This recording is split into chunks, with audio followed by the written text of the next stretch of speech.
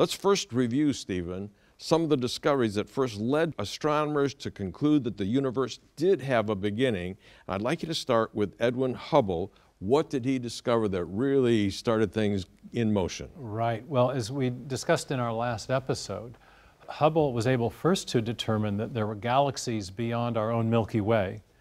And then, secondly, that the light coming from those distant galaxies was being stretched out in a way that gave it a redder color than it should otherwise have. It's called the red shift. The light was red shifted. That indicated that the, that the galaxies and indeed the universe was expanding uh, in all directions of, of space, that space was actually being created uh, or expanding as the galaxies receded away from us. And then, thirdly, that he discovered that the further the galaxies were away, the faster they were moving away, which implied something like a spherical expansion of the universe, like a great balloon being blown up. But then, if you wind that picture of the, of the universe backwards in time, at any finite time in the past, the uh, universe would have been smaller and smaller and smaller. The galactic material would have been closer and closer and closer together.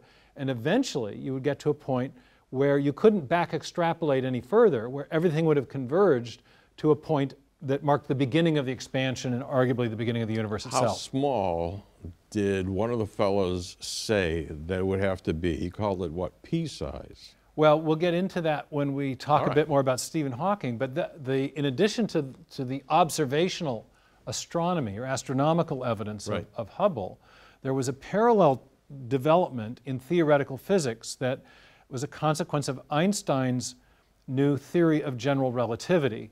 Because Einstein's theory implied that massive bodies curve the fabric of space or space time around those bodies.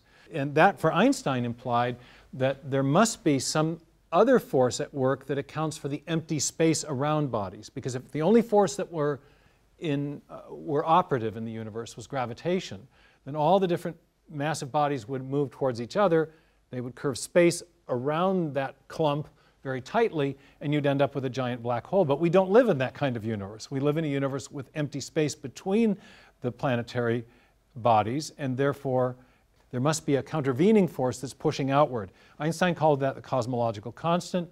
On its face, it implied a dynamic and expanding universe.